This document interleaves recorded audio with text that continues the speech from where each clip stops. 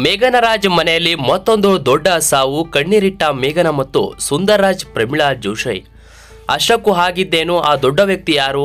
ಇದರ ಸಂಪೂರ್ಣ ವಿಡಿಯೋ ಎಲ್ಲಿದೆ ವೀಕ್ಷಕರೇ? ಇದಕ್ಕೂ ಮೊದಲು ನೀವಿನ್ನು ನಮ್ಮ ಚಾನಲ್ಗೆ ಸಬ್ಸ್ಕ್ರೈಬ್ ಆಗಿಲ್ಲ ಅಂದರೆ ಈಗಲೇ ಸಬ್ಸ್ಕ್ರೈಬ್ ಆಗಿ ಪಕ್ಕದ ಬೆಲ್ಲೈಕನನ್ನು ತಪ್ಪದೆ ಕ್ಲಿಕ್ ಮಾಡ್ಕೊಳ್ಳಿ. ಹೌದು, ಕಳೆದ ವರ್ಷ ಪತಿ ಚಿರಂಜೀವಿ ಸರ್ಜಾ ಅವರ ಅಗಲಿದ ನಂತರ ಮೇಘನರಾಜ್ ಹಾಗೂ ಅವರ ಕುಟುಂಬದವರ ಮುಖದಲ್ಲಿ ನಗು ಬಂದಿದ್ದು ಜೂನಿಯರ್ ಚಿರು ಹುಟ್ಟಿದ ಮೇಲೆ. ಸದ್ಯ ಎಲ್ಲ ಖುಷಿಯಿಂದ ಇರಬೇಕಾದ್ರೆ ಮೇಘನ ರಾಜ್ ಮನೆಯಲ್ಲಿ ಮತ್ತೊಂದು ದುರ್ಘಟನೆ ನಡೆದಿದೆ. ಇದರ ಬಗ್ಗೆ ಇವತ್ತು ಖುದ್ದು ಮೇಘನರಾಜ್ ಅವರೇ ಹೇಳಿ ಬಹಳ ಭಾವುಕರಾಗಿ ಕಣ್ಣೀರಿಟ್ಟಿದ್ದಾರೆ. ಅಷ್ಟಕ್ಕೂ ಮೇಘನರಾಜ್ ಅವರ ಮನೆಯಲ್ಲಿ ಆಗಿದ್ದೇನು ಗೊತ್ತಾ ವೀಕ್ಷಕರೇ? ಮೇಘನ ರಾಜ್ ಸುಂದರ್ ರಾಜ್ ಪ್ರಮೀಳಾ ಜೋಶಿ ಅವರು ಭಾವುಕದಿಂದ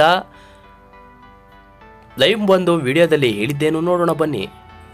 ಹೌದು, ನಟಿ ಮೇಘನ್ ರಾಜ್ ಮತ್ತು ಯುವ ಸಾಮ್ರಾಟ್ ಚಿರಂಜೀವಿ ಸರ್ಜಾ ಮತ್ತು ಧ್ರುವ ಸರ್ಜಾ ಪ್ರೀತಿಯಿಂದ ಸಾಕಿ ಮನೆಯ ಸದಸ್ಯನಂತೆ ನೋಡಿಕೊಳ್ಳುತ್ತಿದ್ದ ಮುದ್ದಿನ ನಾಯಿ ಬ್ರೂನೋ ಹಿಂದೂ ಕುಟುಂಬವನ್ನು ಬಿಟ್ಟು ಹಾಗಲಿದೆ.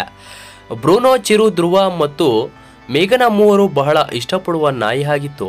ಇಂದು ಬ್ರೂನೋ ಅಗಲಿಕೆಯಿಂದ ಮೇಘನ ಅವರಿಗೆ ಬಹಳ ನೋವಾಗಿದೆ. ಬ್ರೂನೋ ಬಗ್ಗೆ ಭಾವನಾತ್ಮಕ ಸಾಲುಗಳನ್ನು ಬರೆದು ಸೋಷಿಯಲ್ ಮೀಡಿಯಾಗಳಲ್ಲಿ ಪೋಸ್ಟ್ ಮಾಡಿದ್ದಾರೆ ಮೇಘನರಾಜ್. ಮೇಘನರಾಜ್ ಹಂಚಿಕೊಂಡಿರುವ ಫೋಟೋವನ್ನು ನಾವಿಲ್ಲಿ ನೋಡಬಹುದು ವೀಕ್ಷಕರೇ. ಸದ್ಯ ಬ್ರೂನೋ ಫೋಟೋವೊಂದನ್ನು ಶೇರ್ ಮಾಡಿರುವ ಮೇಘನ ಹಲವಾರು ವಿಡಿಯೋದಲ್ಲಿ ಕಳೆದುಕೊಂಡ ಫೋಟೋವನ್ನು ಇವರು ಪರಿಚಯ ಮಾಡಿಕೊಂಡಿದ್ದಾರೆ. ಬ್ರೂನೋ ನನ್ನ ಅತ್ಯಂತ ಆಪ್ತ ಸ್ನೇಹಿತ ಇಂದು ಸಾವನ್ನಪ್ಪಿದ್ದಾನೆ. ಜೂನಿಯರ್ ಸಿ ಇವನ ಜೊತೆ ಆಟ ಆಡಿ ಇವನ ಬೆನ್ನಿನ ಮೇಲೆ ಸವಾರಿ ಮಾಡಬೇಕು ಎಂಬ ಆಸೆ ನನಗಿತ್ತು. ಸಾಮಾನ್ಯವಾಗಿ ಬ್ರೂನೋ ಮಕ್ಕಳು ಅಂದರೆ ಇಷ್ಟ ಇಲ್ಲ. ಆದರೆ ಜೂನಿಯರ್ ಚಿರು ಜೊತೆ ಬಹಳ ಸೌಮ್ಯವಾಗಿ ಇರುತ್ತಿದ್ದ. ಬ್ರೂನೋಗೆ ಅವನ ಒಡೆಯ ಎಂದು ಗೊತ್ತಿತ್ತು ಅನಿಸುತ್ತಿತ್ತು. ನಿನ್ನಿಲ್ಲದೆ ಈ ಮನೆ ಮೊದಲಿನ ಹಾಗೆ ಇರುವುದಿಲ್ಲ.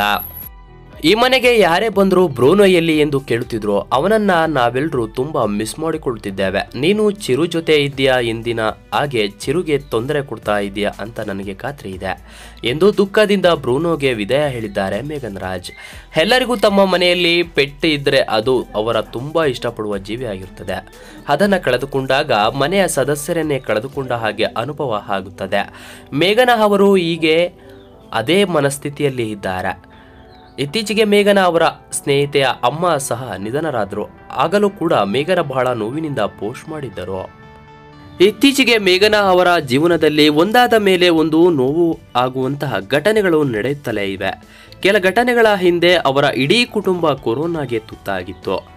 ಈಗ ದೇವರ ದಯೆಯಿಂದ ಎಲ್ಲರೂ ಕ್ಷೇಮವಾಗಿದ್ದಾರೆ. ಮೇಘನರಾಜ್ ಅವರಿಗೆ ಆ ದೇವರು ನೆಮ್ಮದಿ ಕೊಡಲಿ ಎಂದು ಪ್ರಾರ್ಥಿಸೋಣ. ಸ್ನೇಹಿತರೆ, ಈ ವಿಡಿಯೋದ ಬಗ್ಗೆ ನಿಮ್ಮ ಅನಿಸಿಕೆ, ಅಭಿಪ್ರಾಯಗಳನ್ನು ತಪ್ಪದೇ ಕಮೆಂಟ್ಸ್ ಬಾಕ್ಸಲ್ಲಿ ತಿಳಿಸಿ ಸ್ನೇಹಿತರೆ.